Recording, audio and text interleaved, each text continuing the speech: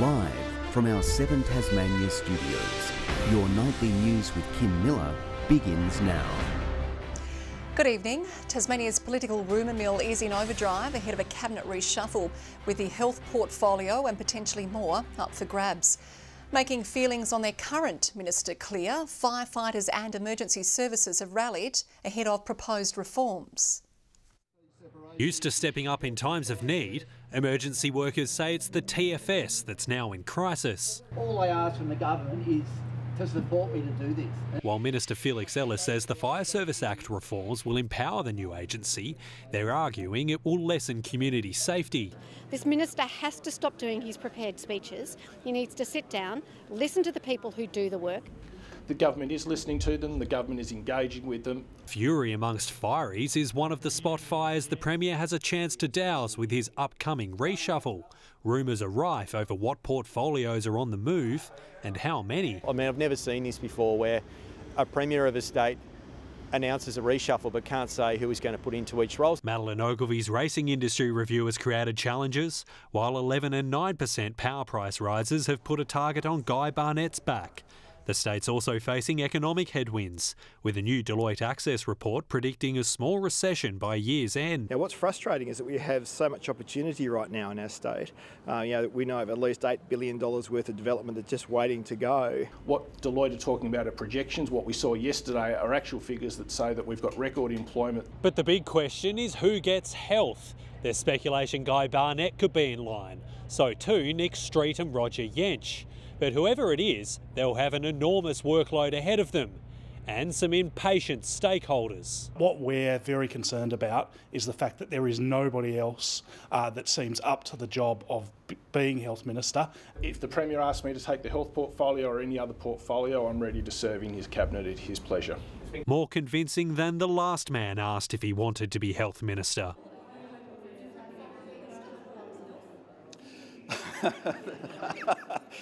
or, or something else. no. Josh Duggan, 7 Tasmania News. Save at UTAS has slammed the university for continuing with works on Melville Street's forestry building. The university halted plans for sites it hadn't yet begun work on last year after the results of an elector poll on City Move. Only 26% of Hobart voters supported the university's plans to relocate to the city. The spirit of the university's commitment that it would stop work was that it would stop all work. Not that it would, by stealth, somehow try and inch forward to get to the stage where the whole thing's a fait accompli. Earlier this week, TasCat rejected an appeal against the project by Save UTAS.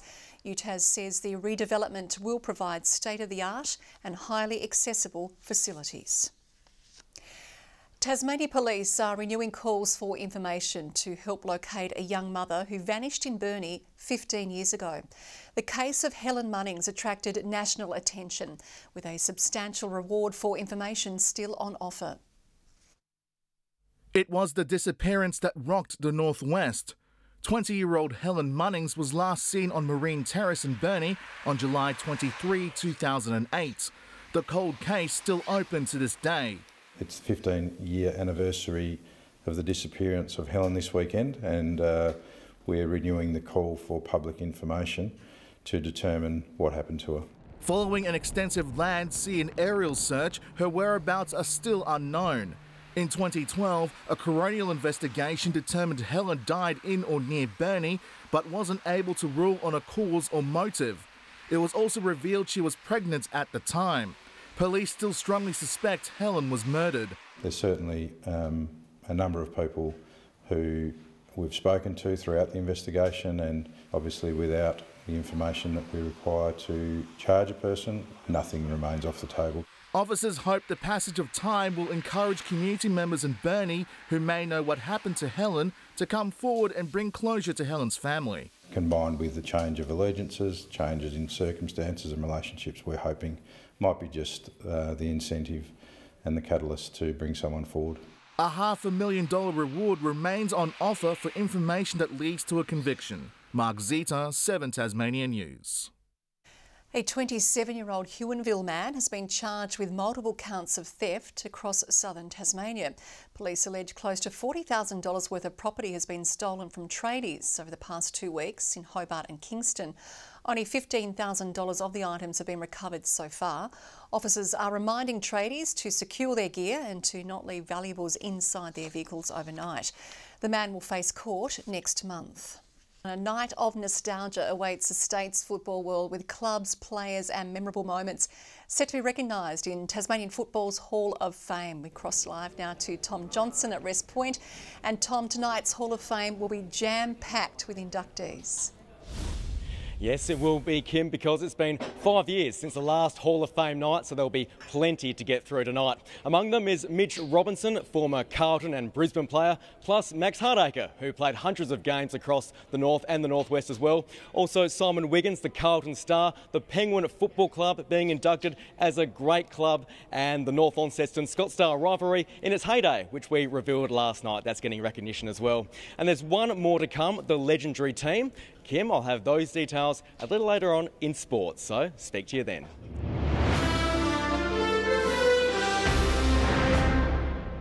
Tasmanians are being warned to protect themselves this winter with flu rates higher than previous years. Experts claim one in 50 people are reporting respiratory symptoms each week, with COVID and RSV also making their way around the state. Members of the public are encouraged to stay up to date with their vaccines and take advantage of the COVID at Home Plus program. COVID numbers have declined quite a lot in the last uh, six weeks. Uh, we're now seeing um, about 40 or 50 COVID notifications a day. Those who enrol in COVID at home are given a monitoring kit. Uh, which they can use remotely, and it enables us to record their observations and provide tailored health advice. Nearly 40,000 people have accessed the service since December 2021. All hands are on deck in Hobart as maintenance work continues on one of the Spirit of Tasmania's vessels. The three week project helping with safety requirements and also getting the ship ready for sail. Deep in the bowels of the spirit of Tasmania too, there's sternwork at play. The 25-year-old vessel, which has carried hundreds of thousands of passengers, is in the midst of a deep clean. Regular maintenance, standard maintenance that all ships are required to have. 80 staff and contractors going over the vessel from top to bottom. There's engine maintenance, there's tank maintenance, um, really anything that, that can be done above the water is being done. So it's, it's a significant, significant contract. All works happening under the watchful eye of the captain. In command in respect to maintaining the vessel operation, basically management system we have on the ship, respect to the safety. Usually done in Sydney, a conflicting booking forced him to set a course for Hobart. Labor says the capital should be the port of choice. If it can be done today, if it can be done at the moment, why isn't this work always done in Hobart? But TT-Line says Garden Island is the only dry dock large enough to do crucial works. Any opportunity to keep jobs in Tasmania is a great opportunity. The work also serving a greater purpose. With new vessels arriving next year, the two current ones will be sold. An upcoming shipping conference in Hobart shaping as the first chance to test the waters. There will be a number of prospective uh, buyers of these types type of ships. So we want to make sure that the ships are in tip-top condition. Locals encouraged to get one last look before it sets sail for a new home. These vessels are iconic for Tasmania. You know, every Tasmanian knows them very, very well. You guys are blessed. Hobart is amazing. It's beautiful. John Hunt, 7 Tasmania News. For the second year in a row, a South Australian artist is $100,000 richer after winning this year's Hadley's Art Prize. More than 570 creators entered the landscape painting competition, with more female Aboriginal and Torres Strait Islander applicants than ever before. Bursting with colour and meaning. It's my, uh, my country, my place, where my uh, family's grandparents and uncles and grandmothers lived before us. Vicky Cullinan's portrayal of Australian landscape winning the hearts of three judges and so too the prestigious 2023 Hadley's Art Prize. I was really surprised and I got really shocked uh, that um, I won this prize. You see it first of all, you get the flash of red and all the marks, and you, and you can feel all this movement. But every time you return to it, it gives you more. It's almost vibrating, it's it's like it's pulsating and alive. Despite the hefty $100,000 award, the Tasmanian competition is no longer ranked Australia's richest. Recently, the NATSIAA Art Awards in Darwin had doubled their prize money. Meantime, Victorian artist Melissa Kenahan has also gone home a winner, receiving the $10,000 residency prize. They get to come back here and stay for a month in Hobart they get an art studio for a month as well and $500 towards art supplies. The finalists exhibition will run for a month with all pieces on sale, except for Vicky's masterpiece, which will hang permanently in Hadley's Orient Hotel. Brianna Boylan, 7 Tasmania News. Neighbourly love will be felt throughout Hobart when street parties pop up in the suburbs later this year. Locals can sign up for the My Street program, which sees performers and food vans come to their area provided by the Hobart City Council. Lenah Valley hosted a street party last year and had more than 200 people show up. It was the highlight of the community calendar from all accounts. The park was full, the people were here, people met people they hadn't seen for years. It's a special party for your special part of the world. Those interested need to apply through Council's website. It's not the kind of partnership you see every day, but a Tasmanian exercise studio is hoping to do its bit for crucial mental health support. KX Pilates has teamed up with Lifeline for a national 24 hour mental health relay with 50 minute classes running every hour. Organisers still have 100 spots open for participants, raising much needed funds for the service. Our goal that we set was $150,000. The reason for this is because that's the average cost of running all 41 national Lifeline centres around Australia for one day. Tasmanians can secure their spot in the challenge by contacting the company. Ageing positively has been at the forefront of the agenda at a health expo. Hundreds crowded into Beaconsfield's community hall to find out more about services to enable them to stay fit and active for longer. Ageing together in comfort and in style. People just like to get together and have a chat. It's something different and it's, it's giving back to the community. A packed out Beaconsfield Community Hall turning into a one-stop shop for West Tamar's over 50s. We wanted the community to know what's available for them, so I just had the idea of bringing everybody together and it's winter time so it'll give people something to do. A think tank of minds putting their services on display, each stall offering something unique for everyone. We've got a lot of local community groups and service providers. There's about 42 or 43 stall holders, so it's fantastic. From taking time to have a chat to laughing the day away, everyone blown away by the turnout and response. Exceeded all expectations. So many locals supporting it. I never expected it this big. Amazing how many people are here and nice people, they're all happy. Organisers spruiking the benefits of living an active and involved lifestyle. To do things uh, out of your comfort zone, you know, volunteer, uh, take up a sport. The community coming together, celebrating their love for the West Tamar and one another. Oh, it's the best spot ever. The weather is the best ever. The wild horses wouldn't take me away. It is just the most wonderful community. Victoria East 07 Tasmania News.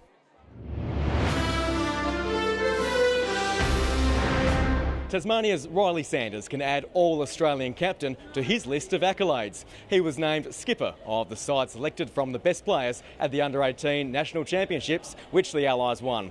Colby McKercher and James Leake were the other Tasmanians given all Australian honours. And we can reveal Cooee's 1978 state premiership winning team will be inducted into the Tasmanian Football Hall of Fame. TNT9 cameras were there that day and for a special Friday flashback we dusted off the tape and showed it to those who played. Reimers gives it across to Beaumont. Beaumont puts it right through the middle and it's another goal for Cooee. With their unmistakable green and gold Guernseys, the Cooee Bulldogs were nearly untouchable in their 70s and 80s golden era. Days former players remember well. It was the Daryl Shepherd show. To brothers Daryl and Graham Shepherd, plus Kerry Beswick, the high watermark of the club came in 1978. Victory in the very last of the old state premierships. Now it's a good kick. The umpire doesn't move and Bairds put it right through the middle. As soon as the game started, it was on. You could feel, you could feel that we were, we were going to be right. In a sign of the rich history loss, Cooee beat another now defunct club, Sandy Bay, both deft in the art of the torp. Green Hills torpedo punt's gone almost to the centre of the ground. There wasn't a lot of tactics. It was just get it, kick it down there. Whatever the mentality, it worked. Cooee victors by 26 points, setting the Northwest alight. Picture of them uh, hanging out the Regent Hotel off the balcony. I don't know where you can see that. Oh, it's upside down. Just eight years later, the club shed its colours to become the Burnie Hawks, so it could join the statewide league. But 1978 side will be immortalised in Tasmanian football's Hall of Fame. Back and he pulls down a magnificent mark. Forever linking the club to greatness. I just love that upside down photo, Kim. And gee, what a fantastic night for Cooee and Penguin, Scottsdale, North Launceston as well, and many individuals who are going to be recognised here tonight. So a fabulous night ahead. The Tasmanian Football Hall of Fame should be a ripper. Well, it was lovely to see some sunshine in parts of the state today after a foggy start in the north. Hobart, Devonport and Burnie all 13. Launceston slightly cooler with 12 degrees. Bushy Park and St Helens the state's top today with 14. 13 for King Island, Smithton, Friendly Beaches, Grove and Strahan all 13. Flinders Island, Low Head and Maria Island 12. 5 for Liawenee. Mostly cloudy conditions about western Tasmania and mostly clear conditions about eastern parts of the state today. The satellite image shows low-level cloud about coastal parts of western and southern Tasmania, as well as southern Victoria and southern SA, parts of coastal New South Wales and much of eastern Queensland. A frontal band can be seen passing the south of WA. Tomorrow, a high pressure system centred over WA extends a ridge over central Australia and into New South Wales and eastern Victoria, while a cold front extends to the west of the state. West to northwesterly winds 15 to 20 knots, reaching up to 25 knots about the west and southwest, increasing up to 30 knots ahead of west to southwesterly change at 10 to 20 knots, crossing western and southern waters in the evening. West to southwesterly swells in the west and south, building to 4 metres. A strong wind warning has been issued for the southwest coast tomorrow. Possible showers in the south tomorrow, 15 for Hobart, 12 in Maydena and 13 for Oatlands. 14 in Launceston and Devonport and early frost for Liawenee. Burnie, Strahan and Marrawah showers and 13. St Helens and Orford both 15, partly cloudy conditions, and 16 for Swansea. Looking now to the three-day forecast, Sunday showers about the west and far south, easing in the afternoon and evening. Fine elsewhere, apart from afternoon showers in the northeast. Monday, fine apart from light showers about the west, extending to the far south in the afternoon and evening. Tuesday, fine apart from light showers about the west. Cloud clearing in Perth tomorrow, sunny in Darwin and Sydney, becoming cloudy in Melbourne. And currently in Hobart, it's 8, partly cloudy, mostly clear in Launceston and clear in Devonport. Another working week done and dusted. Kim, have a lovely weekend. And you too. Thank you, Kaya. And that is all your news for this Friday night. Thanks for joining us. Enjoy your weekend, everyone. Good night.